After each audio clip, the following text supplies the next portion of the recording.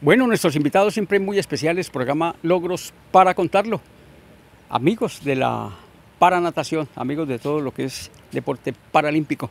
Tenemos a Mariana Guerrero. Está concentrada la selección Colombia de paranatación precisamente en este viaje que nos llevará rumbo a París, a la Paralimpiada en territorio francés.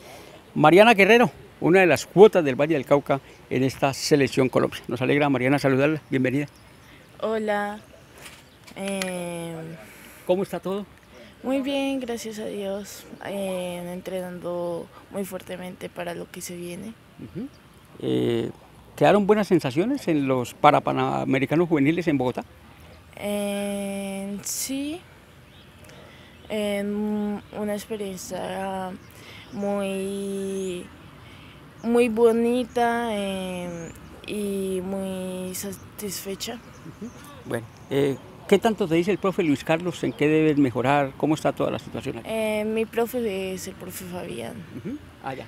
Eh, pues mejorar más que todo em, pues mis estilos que es libre y espalda en las pruebas fundamentales mías que son el 50 eh, pues ya que ahí estoy en el ranking de tercera entonces mejorar mi tiempo la marca que tengo y pues poder ganarme el bronce Ojalá así sea.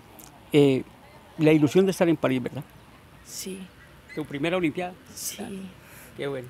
¿Qué tanto pasa por tu cabeza eh, ya estando eh, en el grupo seleccionado?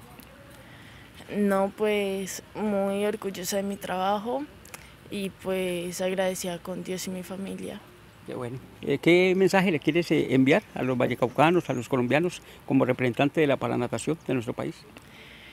Que el deporte, así sea de convencional y paralímpico, es una experiencia muy, muy bonita eh, y que el deporte da vida.